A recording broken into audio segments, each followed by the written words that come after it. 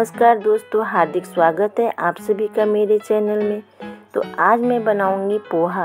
पोहा पौष्टिक भी है और हमारे देश में सबसे ज़्यादा खाए जाने वाली डिश में से एक है। इसे बच्चे, बड़े बेहद पसंद करते हैं और इसे बनाना भी बहुत आसान है। तो चलिए शुरू करते हैं। हम इस रेसिपी को कैसे बनाते हैं? दोस्तों, सबसे पहले हम क्या करेंगे? सब्जियों को छील लेंगे, उसके बाद उसे धोकर कट कर लेंगे। तो यहाँ पर मैं एक मीडियम साइज़ का प्याज कट कर ली हूँ छः सात हरी मिर्च, आधा कैप्सिकम कट कर ली हूँ और आठ दस कड़ी पत्ता ले ली हूँ। और उसके बाद आलू एक मीडियम साइज़ का कट कर ली हूँ, क्यूब्स में और गाजर कट कर ली हूँ और मटर ले ले ली हूँ। तो इसमें आप अपनी पसंद की और भी सब्ज़ियाँ ऐड कर सकते हैं, जैसे फूल गोभी बंदा गोभी बीन्स, टमाटर, है ना? अब हम यहाँ पर मीडियम साइज़ वाला पोहा ले लेंगे। न ज़्यादा मोटा, ना ही ज़्यादा पतला। इस तरह का होना चाहिए। है ना? मैं इस कटोरी से दो कटोरी पोहा ली हूँ। तो पोहे को अब हम क्या करेंगे? धो लेंगे अच्छे से, छन्नी में डालकर, पानी नीचे से सारा निकल जाए तरीके से और रख दें के लिए। और उसके बाद हम क्या करेंगे?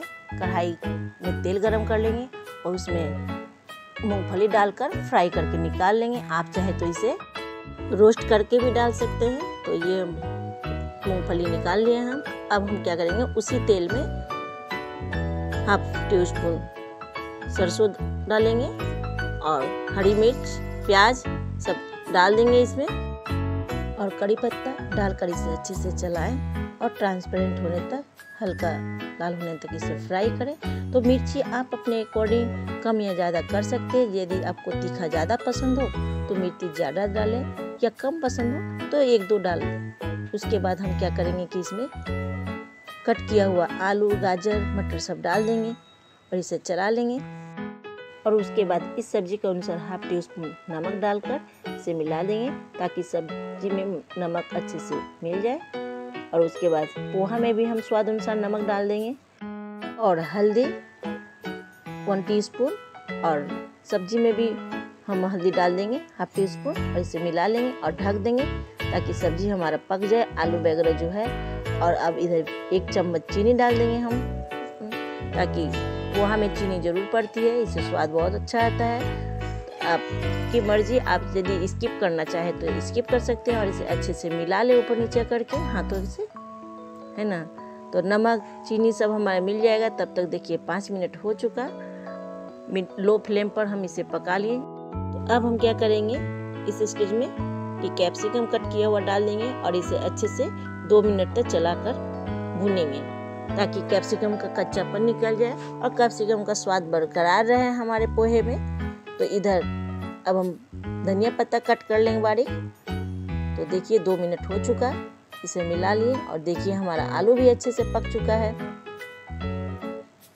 है ना? तो अब हम क्या करेंगे? पोहा को इसमें डाल देंगे थोड़ा थोड़ा करके, है ना? और इसे अच्छे से मिला लेंगे। तो इस तरीके से हम एक बार पोहा नहीं डालेंगे थोड़ा थोड़ा कर करके डालकर मिलाएँगे।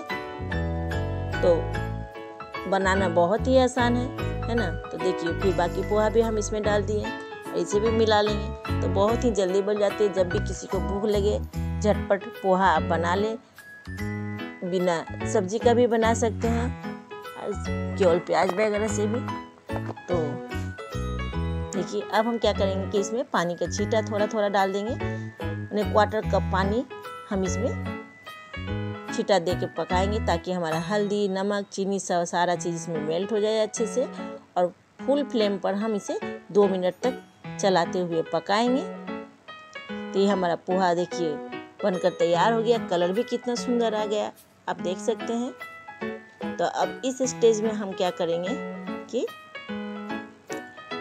नींबू का रस, हाफ़ नींबू का रस इसमें डाल देंगे।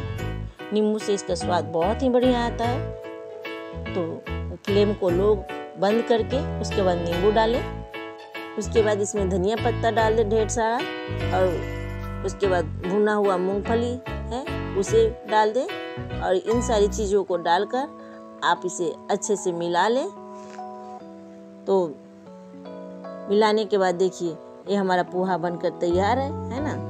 ये कितनी सुंदर लग रही है, कलर कितना सुंदर आया है। तो मेरे इस तरीके से आप पोहा ज़रूर बनाएँ, एक बार ट्राई करें। बहुत ही टेस्टी और यम्मी बनती है। तो ये हमारा मज़ेदार, लाजवाब पोहा, खट्टी मीठी, चटपटी पोहा बनकर तैयार है। है ना? तो आप एक बार इस रेसिपी को ज़रूर ट्राई करें और कमेंट्स में बताएँ कैसा बना है। चलिए सर्व करते हैं हम इसे। तो यहाँ पर हम सर्विंग प्लेट में पोहे को निकाल लेंगे, उसके बाद धनिया पत्ता से गार्निश कर देंगे, उसके बाद बारीक कट की हुई प्याज उस पर से डाल देंगे गार्निश कर देंगे, उसके बाद प्याज की स्लाइसेस भी रख देंगे, आपको पसंद हो तो खा सकते हैं। और उसके बाद हम क्या करेंगे, ऊपर से मूंगफली से भी गार्निश कर देंगे। और उसके बाद एक नींबू का स्लाइसेस रख देंगे। आपको यदि नींबू कम लगे तो आप ऊपर से डालकर खा सकते हैं। और एक मिर्ची, तीखे के हिसाब से आपको यदि ज़्यादा तीखा हो, पसंद हो तो इसे कट करके खा सकते हैं। तो इस तरीके से पोहे का सर्विंग प्लेट तैयार है। तो है ना कितना आसान और इजी बनाना। तो यदि आपको मेरे रेसिपी पसंद आए और बनाने का तरीका भी पसंद आए तो लाइक का बटन दबाएँ और चैनल को सब्सक्राइब करें शेयर करें। Thank you.